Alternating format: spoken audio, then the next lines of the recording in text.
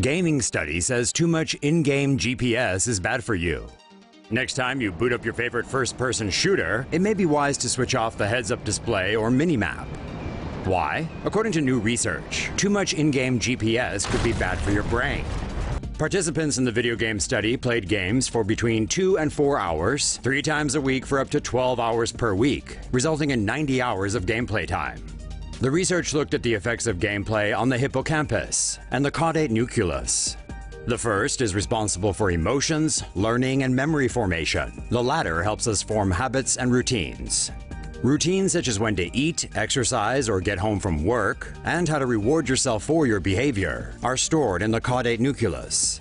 The study found the hippocampus shrank after 90 hours of action and shooter gaming because players use their caudate nucleus more to play and navigate. However, the reverse was true for those playing 3D platform games.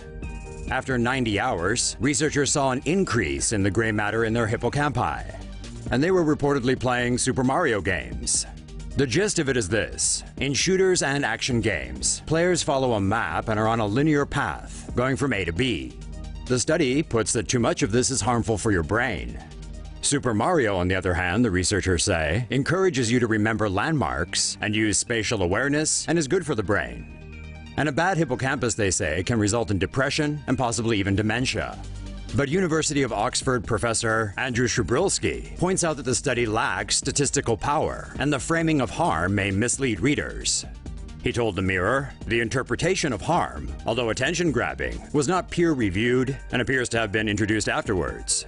So basically, the study got published, then it was spun in a news release stating video games can harm brains.